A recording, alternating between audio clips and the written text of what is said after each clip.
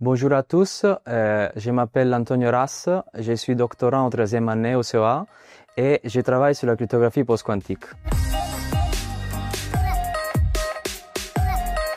Je suis italien, je viens d'une petite région qui s'appelle les Pouilles, mais par contre j'ai fait mes études euh, au Polytechnique de Turin où je me suis spécialisé dans les domaines de l'implémentation matérielle sur des systèmes embarqués. Pendant ma deuxième année de, master, je voulais un peu sortir de ma zone de confort et j'ai eu la possibilité de, de, faire un stage euh, ici au CEA où j'ai découvert pour la première fois qu'est-ce que ça veut dire la recherche scientifique et du coup je me suis dit pourquoi pas.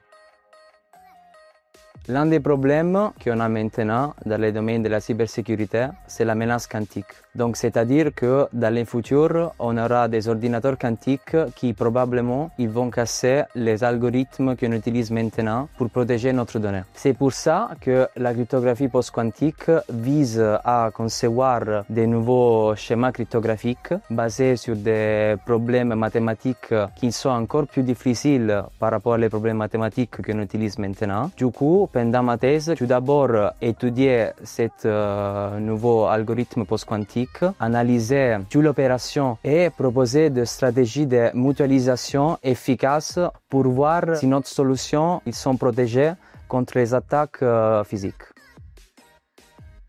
Avant, j'ai travaillé dans euh, une pizzeria en Italie parce que j'ai la passion de faire la pizza, focaccia. Je suis italien, donc c'est normal. Et quand euh, je suis arrivé, j'avais beaucoup de mal euh, à, parler français. Et donc, après un mois de la thèse, je voulais arrêter pour faire mon retour en Italie et continuer à travailler dans une pizzeria. Mais finalement, je me suis dit, j'aimerais bien sortir de ma zone de confort. Je mets toute l'énergie possible pour apprendre la langue, pour m'intégrer dans cet écosystème et comprenant la culture française, je pense que j'ai vraiment réussi à avancer bien dans cette typologie de, problèmes.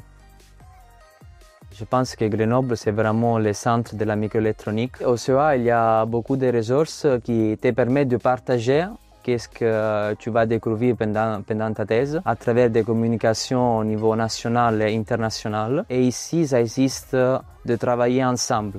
Il n'y a pas une compétition, c'est juste euh, que toutes les personnes ils vont contribuer ensemble pour euh, proposer euh, des innovations. Live a life you will remember. Obrigado.